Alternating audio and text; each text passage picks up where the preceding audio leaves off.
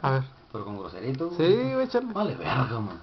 No, déjala más seca, man. Ya me voy a salir a la verga. Tiene 10 años saliendo.